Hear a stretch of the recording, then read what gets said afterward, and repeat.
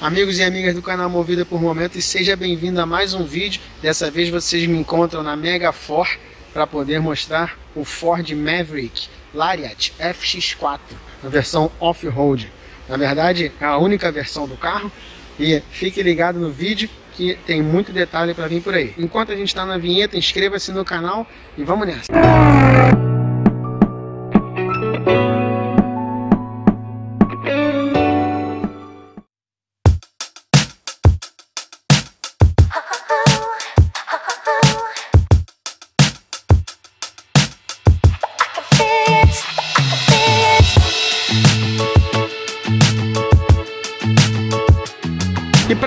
Quero dar detalhe nos 5.07 metros de comprimento, uma estratégia aí de uma picape da Ford para poder competir com a Fiat Toro e ser menor do que a Ford Ranger, né? que é a caminhonete top da marca Ford.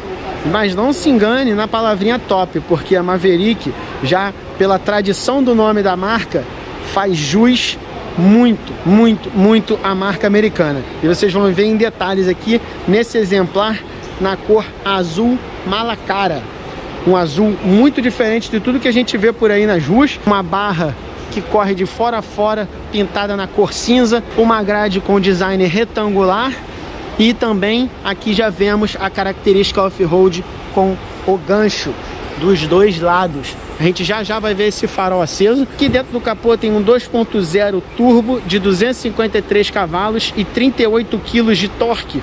E sobra potência nas retomadas, porque também tem um câmbio automático de 8 velocidades com reduzida integrada também. Olha que bacana, essa roda aro 17 pintada totalmente em black piano, suspensão independente nas quatro rodas. Esse carro tem cinco modos de condução e freio a disco também nas quatro rodas. Muito interessante.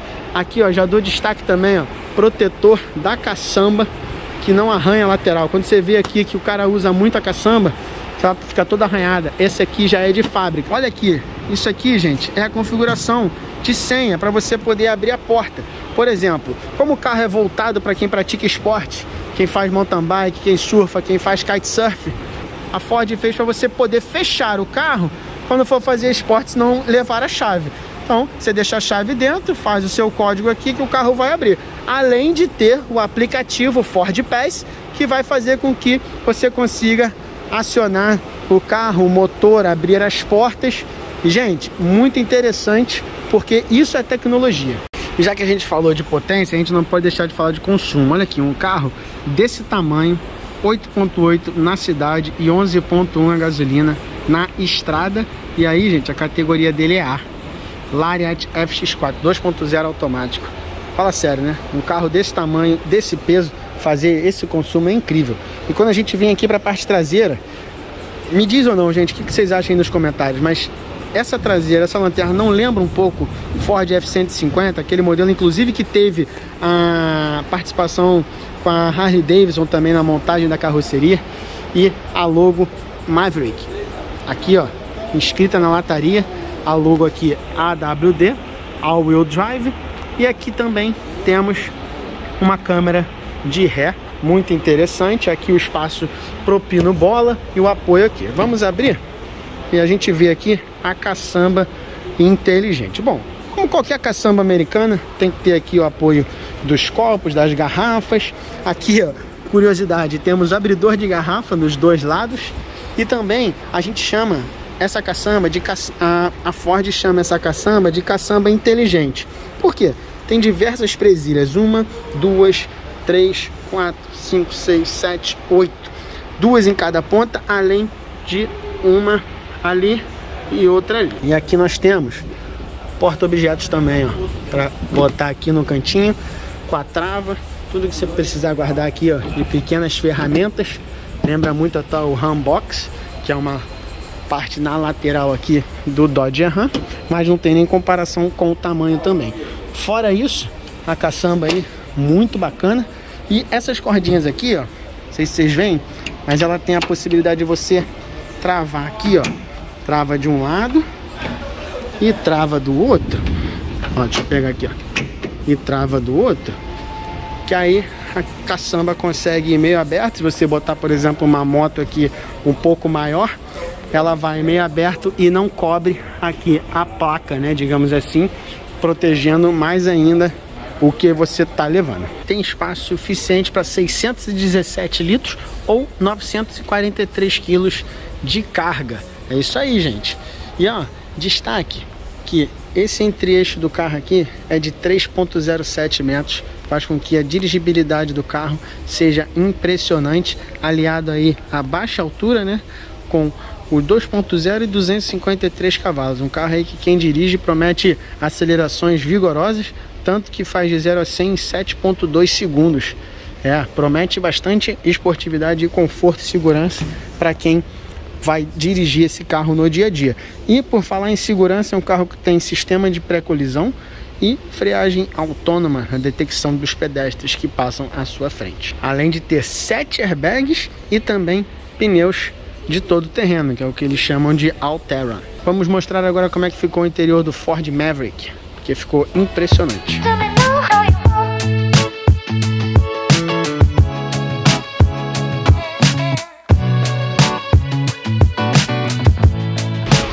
Gente, por incrível que pareça, quando eu fui filmar aquele carro lá internamente, estava totalmente arriado de bateria, então me deram o modelo do test drive para mostrar. E é bacana que eu posso mostrar alguns opcionais para você. Primeiramente, conforme prometido aqui, temos o farol DRL aqui totalmente em full LED e também aqui já acendi o farol baixo, que complementa-se formando um C invertido. Um carro com uma característica bem marcante. E temos também aqui uma luz de posição na lateral. Bacana que essa versão tá com estribo lateral, olha que bacana. Olha só, com a logo Ford aqui, que apesar de não ser um carro muito alto, facilita na questão da altura. Esse carro também tá com opcional aqui de Santo Antônio com a logo Maverick, olha que show. Muito bacana, com aço bem acabado. E ali, ó, temos com a lanterna acesa, também temos ali no freio junto também uma luz de posição da parte traseira. Um carro aí que nessa versão também tem uma parte preta aqui, então fica bicolor aqui na carroceria, na, na, na tampa do porta-malas. E ó, mais uma vez, temos um outro opcional de caçamba rígida aqui, ó, que faz com que proteja a caçamba em dias de chuva como esse. Mas vamos para o principal que é internamente. Já começo falando aqui, ó, sistema automático aqui para o motorista de ajuste do banco e uma mistura de acabamento muito interessante num plástico muito bem acabado, um puxador aqui, ó, na parte integrada já com os comandos de vidro, com também alto-falante aqui na porta e bastante espaço para porta-objetos. E antes de eu mostrar aqui, eu vou mostrar logo atrás, para a gente inverter um pouco o processo. Porque olha como é que ficou esse acabamento do couro. Gente, é muito couro integrado aqui. Um couro bem macio, bem confortável e bicolor, ok? Temos aqui a abertura desse vidrinho aqui na elétrico, automático, que comanda lá pela frente. Um apoio de braço aqui com um porta-copos. Um carro com bastante porta-objetos, como você pode ver aqui na porta lateral também. Mais um fechamento aqui misturando o mesmo marrom aqui dos bancos na porta e também aqui na porta da frente. Mas detalhe, gente, olha esse porta-objetos aqui, ó. Deixa eu abrir aqui. Levantar. Deixa eu ver. Só empurrar que ele fica. Olha aqui. Carro voltado para quem pratica esporte. Você vê aí, ó. Bastante espaço para botar roupa molhada, botar tênis sujo, botar capacete sujo, além do que já tem na caçamba, correto? Aí para fechar, eu acho que é só puxar aqui que ele já desce automaticamente. Uma outra característica desse carro aqui, gente, é a vedação. A vedação dele é muito grossa, é muito completa. Quem dirige esse carro diz que ele tem uma acústica impressionante.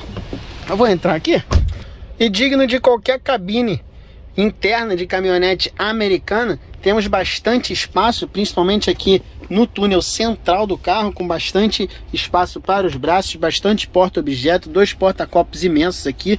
Já dou destaque aqui para o seletor de marcha de oito marchas, que faz jus aí à tecnologia do carro.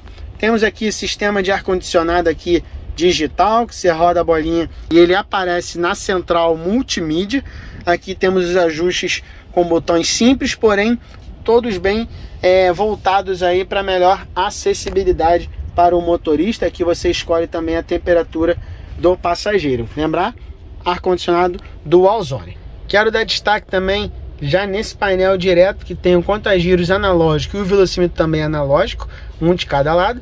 Porém, quando eu aperto o botão central, a gente escolhe aí os cinco modos de condição, né? O modo areia, o modo normal, o modo rebocar ou transportar, né, que libera aí o carro, e aqui, ó, escorregadio, quando ele sai, ele perde ali o, o modo e a lama e terra. Então, são cinco modos de condução aí que fazem com que a dinâmica de direção do carro fique diferenciada. Um volante que lembra bastante aí o volante da Ford Ranger com os controles de piloto automático aqui e os controles de configuração do TFT ali, ó. Você consegue mexer aqui e transitar todos os modos, ó. Pressão dos pneus, distância percorrida, consumo médio.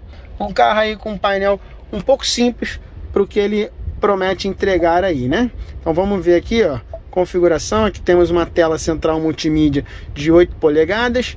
Conforme já dissemos, temos o Ford Pass, que aí você configura através do seu aplicativo, consegue ligar o carro à distância e é a distância mesmo, tá, gente? Inclusive de uma cidade para outra, assim, você consegue ligar o seu carro. Por exemplo, você vai fazer uma viagem, você consegue ligar o carro de onde você estiver. Temos o botão Start Stop, uma acessibilidade bacana e bastante carregador aqui de tomada. Aqui temos carregador de USB tipo C e bastante espaço aqui para porta objetos. E aqui temos o freio de estacionamento eletrônico, os modos de condução que a gente escolhe por aqui, conforme já mostrado. Aqui temos tração desligado e desligado. Aqui temos o start-stop desligado ou ligado também, para quem não gosta dele ativo na cidade. E esse botão aqui temos o sistema de auxílio para descida em rampa. Continuando aqui no painel temos um bicolor também muito bacana nessa cor bronze e aqui temos essa logo que o airbag do passageiro diz que está desligada. Voltei aqui para esse maravilhoso azul malacara, particularmente mais bonito que o cinza que vocês tinham visto lá fora. Porém, gente, quero saber de vocês. R$ 240.490 é o preço que a Ford Maverick está sendo vendida aqui na Mega For. Gente, um carro com bastante tecnologia, bastante característica, um carro que vai encarar robustez para você que faz o off-road e o carro que vai ser versátil na cidade. Deixe seu comentário abaixo. Se você estiver procurando uma caminhonete, venha conferir a Ford Maverick 2023 na rede Mega Ford.